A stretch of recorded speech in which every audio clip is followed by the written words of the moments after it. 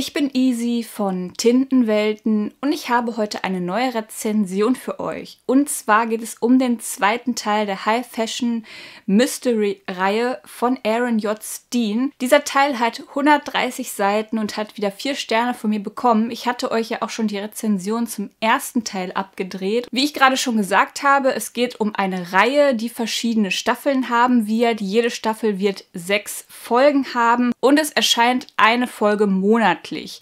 Diese erscheint heute am 26. Februar und ich bin auch schon sehr gespannt auf den dritten Teil. Denn sowohl die Vorgeschichte hat Lust auf mehr gemacht, auch der erste Teil war ein spannender Auftakt und auch hier geht es spannend und interessant weiter. Worum geht es überhaupt? Die ganzen Stories und Handlungsstränge scheinen sich um ein Ereignis zu ranken, beziehungsweise irgendwas damit zu tun zu haben. Und zwar ist es nämlich so, wir haben in der Vorgeschichte Delia kennengelernt, kennengelernt. Sie ist Journalistin. Sie schreibt einen brisanten Artikel über die Schattenseiten des Modebusiness, in dem sie und auch ihre Freundinnen arbeiten und plötzlich verschwindet sie aber und keiner weiß, was da los ist, wo sie hin ist, was passiert ist, warum und wieso.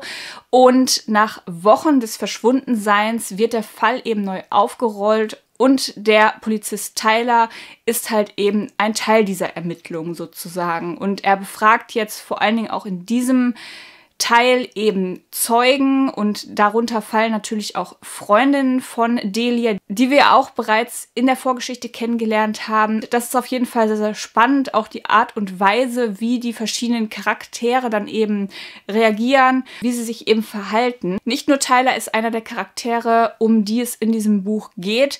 Es ist so, dass in der Vorgeschichte eben aus der Sicht von Delia geschrieben wurde und ihren Freundinnen. Im ersten Teil haben wir dann fünf Charaktere gehabt, aus deren Sicht das Ganze geschrieben geschrieben wurde. Und hier ist es sogar so, dass wir gleich sieben Charaktere haben, wo die Perspektive immer wieder zwischen wechselt. Es sind jetzt nicht unbedingt neue Charaktere, die kennen wir auch schon aus dem ersten Band zum Beispiel, aber es sind halt relativ kurze Kapitel, es sind viele Perspektivenwechsel und mich persönlich hat es wie auch im ersten Band und in der Vorgeschichte teilweise echt verwirrt.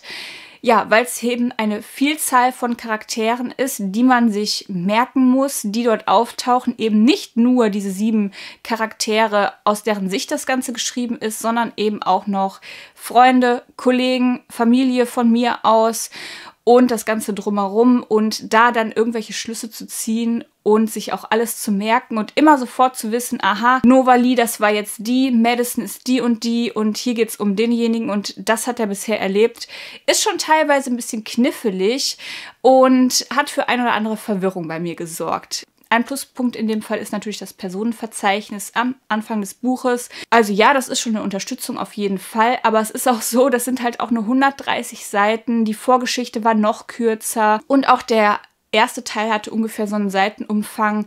Ja, und man hat sich halt gerade so richtig reingefuchst und weiß wieder, was Sache ist und hat vielleicht die ein oder andere Vermutung aufgestellt und dann ist einfach das Buch schon wieder aus. Der erste Band hat zum Beispiel auch mega abrupt geendet. Der zweite Teil hat eigentlich auch einen Cliffhanger. Ich meine, ist ja auch klar, es ist eine Serie und wie Serien halt so sind, ob es sich jetzt um Bücher handelt oder halt auch wirklich um Serien im Fernsehen oder bei irgendwelchen Streaming-Diensten, ja, natürlich enden die mit einem Cliffhanger. Man soll ja weiter gucken oder weiter lesen.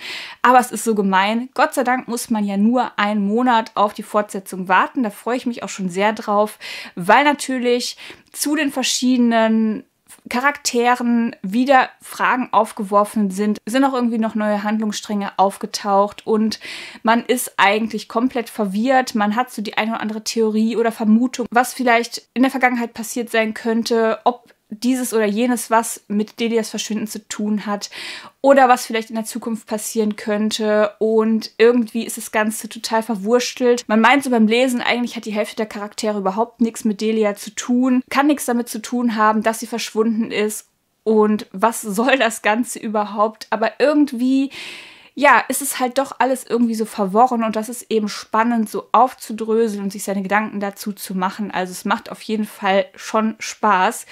Und ich freue mich, weiterlesen zu können. Das ist dann ja in einem Monat wieder soweit. Und ja, da bin ich mal gespannt, wie es mit den ganzen Charakteren weitergeht, die man da so kennengelernt hat. Denn jeder von denen ist halt einfach spannend. Äh, jeder bringt seine eigene Geschichte, seine eigenen Besonderheiten, seinen eigenen Charakter eben mit und Ziele, Träume, Gedankengänge und das finde ich halt sehr, sehr spannend. Ich weiß gar nicht so unbedingt, wen ich von denen am liebsten mag oder wen ich am wenigsten mag. Ich muss sagen, mir ist auch nicht jeder von denen sympathisch, kann aber auch gar nicht so sein, denke ich. Aber auf jeden Fall, ähm, ja, bin ich einfach gespannt, wie es da weitergeht mit diesen ganzen Charakteren. Ich bin gespannt, was das Ganze mit Delia zu tun hat und wie diese Fäden alle irgendwann mal zusammenlaufen werden. Also, ich freue mich drauf.